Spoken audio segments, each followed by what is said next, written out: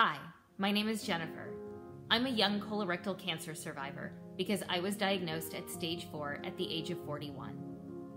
One of the things I was shocked to learn after starting treatment for cancer was that chemotherapy and radiation could cause infertility. My first oncologist never told me about this. Many don't. Fortunately, my radiation oncologist referred me to a fertility doctor, and I was able to complete one cycle of embryo banking before starting radiation therapy. Had to give myself hormone injections in the stomach twice a day for several weeks before my doctor was able to surgically retrieve my eggs. It's not the way I ever imagined getting pregnant, but I'm grateful that my husband and I have embryos waiting to be implanted once I'm done with cancer treatment. Cancer takes a lot of things from you. Being a parent shouldn't be one of them.